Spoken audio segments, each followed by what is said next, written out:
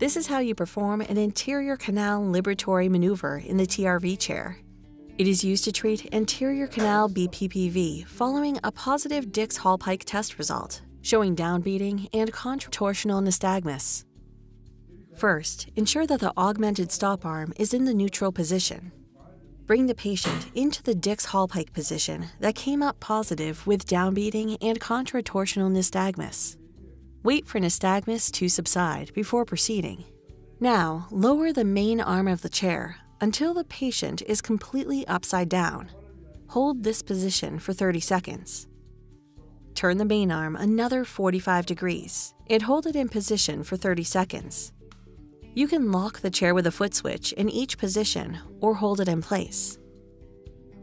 Turn the main arm 45 degrees again so that the patient is in a horizontal position. Hold for 30 seconds. Move the main arm another 45 degrees and hold the position for 30 seconds. The patient's head is now pointing upward in a 45 degree angle. Finally, move the patient 45 degrees to an upright position.